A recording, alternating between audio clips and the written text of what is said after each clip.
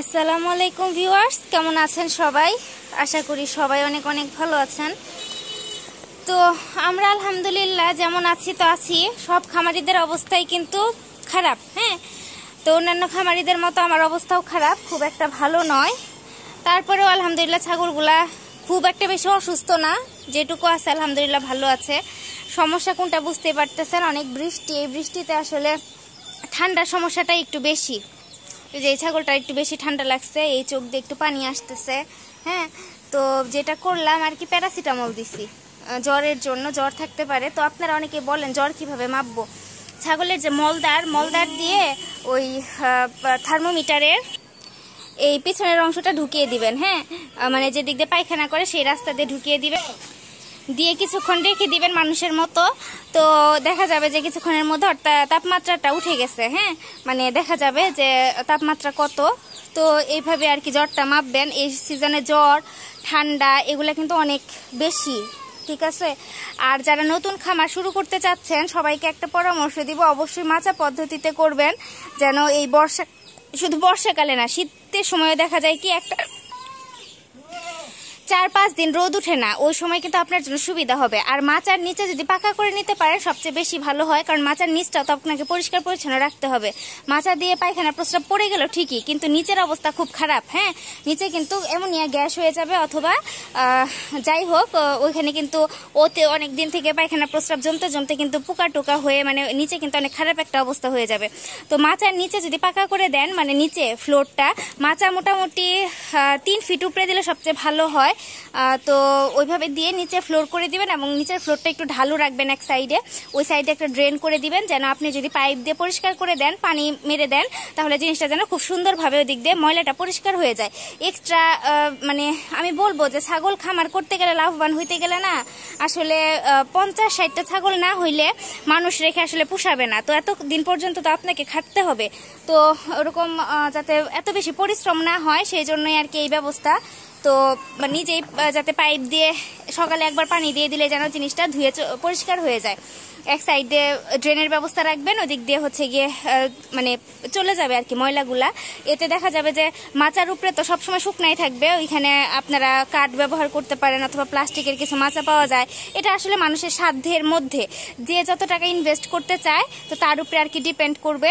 তো, যেটা দিয়ে ভালো হয়, সেটা দিয়ে মাচাটা করবেন এবং মাচার যে ফাঁক খুবই কম রাখবেন, হাফ ইঞ্চিরও কম হ্যাঁ? কারণ ছোট ছোট ছাগলের বাচ্চার হাত কিন্তু সেদিক দিয়ে ঢুকে যেতে পারে এবং হাত ভেঙে যেতে পারে। এরকম কিন্তু অনেক নজির রয়েছে।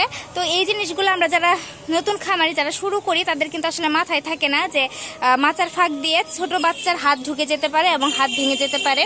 এটা থাকে না আসলে মাথায়। তাই বলব মাচার ফাঁকটা খুবই কম দিবেন হ্যাঁ? এই যে দেখেন, দেশি একটা বাচ্চা, কত ছোট, কত চিকন একটা হাত। দেখতে পাচ্ছেন এই যে কত চিকন একটা হাত। তো এটা ইজিলি ঢুকে যায়। আবার সেই জন্য একদম অল্প ফাঁকা দিবেন, যেন জাস্ট খালি ওদের আহ, প্রস্রাবটা পড়ে যায়। পায়খানাটা ঝাড় দিয়ে দিবেন এক সাইড করে দিবেন হ্যাঁ দিয়ে বেলচা দিয়ে তুলে ফেললেন সেটা তো সমস্যা না। এতে মাচার উপরে এটা সবসময় শুকনা থাকবে আর নিচের অংশে হচ্ছে গিয়ে তেমন ময়লা জমবে না এবং সেখান থেকে কিন্তু এমনই গ্যাসটা কম হবে আর মানে ছাগলগুলো সুস্থ থাকবে। স্বাস্থ্য ভালো থাকবে, সব ভালো থাকবে। আমার কিন্তু ছাদের উপরে খামার, আসলে মাচা কিন্তু একটা কস্টিংয়ের বিষয়।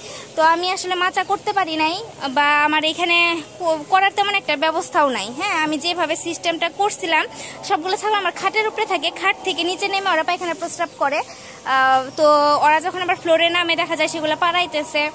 একদম ঘরে লেগে যায়, ঘর আবার আমার পরিষ্কার করতে হয়।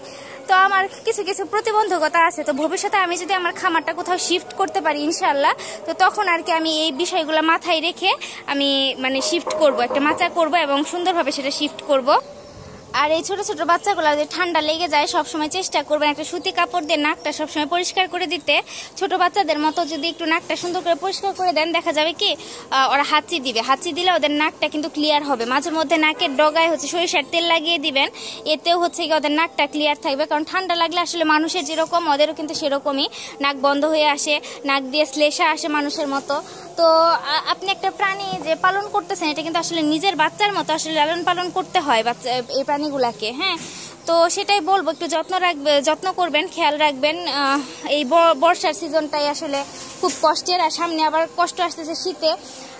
তো পিপিআর ভ্যাকসিনগুলো আপনারা এই সিজনগুলোর আগে করিয়ে নেবেন, বর্ষার আগে করিয়ে নেবেন, শীতের আগে করিয়ে নেবেন। যেন অবশ্যই একুশ দিন, পনেরো দিন আগে করিয়ে নেবেন, কারণ একটা ভ্যাকসিন করলে ভ্যাকসিনের কার্যক্ষমতা বৃদ্ধি পাইতেও কিন্তু এরকম কিছুটা সময় লাগে, প্রায় একুশ দিনের মতো একটা সময় লাগে। তো সেই জন্য আর কি বলব যে একটু সাবধানে থাকেন। আর যারা নতুন শুরু করবেন, তারা এই বৃষ্টি আর এই শীতের কথাটা মাথায় রেখে অবশ্যই মাচা পদ্ধতিতে শুরু করবেন এবং মাচাটা উঁচাই উঁচাই করবেন। আর সেই সাথে মাচার নিচের যে অংশটা থাকবে, ফ্লোর, সেটা আপনারা পাকা করে দেওয়ার চেষ্টা করবেন। এতে হচ্ছে গিয়ে আপনার এক্সট্রা লোকের প্রয়োজন হবে না। আপনি যদি একটু যে পাইপগুলো দিয়ে বেশি স্পিডে পানি বের হয়, সেগুলো দিয়ে যদি একটু এক সাইড থেকে পানি ঢেলে দেন পাইপ দিয়ে, তাহলে দেখবেন যে খুব সুন্দরভাবে নিচের অংশটা পরিষ্কার হয়ে গেছে এবং এক সাইডে ড্রেনের ব্যবস্থা করবেন। মলগুলা মলগুলো সব ড্রেনে চলে যাবে। এতে আপনার ছাগলগুলো একদম সুস্থ, স্বাভাবিক থাকবে, কোনো সমস্যা হবে না হ্যাঁ? আপনার খামারের ভিতরে কোনো গ্যাস হবে না কোনো গন্ধ হবে না। তো এটাই আর কি বলার ছিল। তো ভিউয়ার্স ভালো থাকবেন সবাই। যারা আমার চ্যানেলে নতুন, চ্যানেলটা সাবস্ক্রাইব করে পাশে থাকবেন। কারও কোনো প্রশ্ন থাকলে অবশ্যই কমেন্টে করবেন। আর যদি আপনার কাছে ভিডিওটা উপকারী মনে হয়, অবশ্যই একটু শেয়ার করে দিবেন ভিডিওটা হ্যাঁ? আপনার পরিচিত কারোর সাথে যারা ছাগলের নতুন খামার করতে চায় বা করতে ইচ্ছুক, আমার চ্যানেলে আরও পুরনো অনেক ভিডিও আছে। সেগুলো তারা দেখে কিছুটা হলেও উপকৃত হতে পারবে। তো আল্লাহ হাফেজ।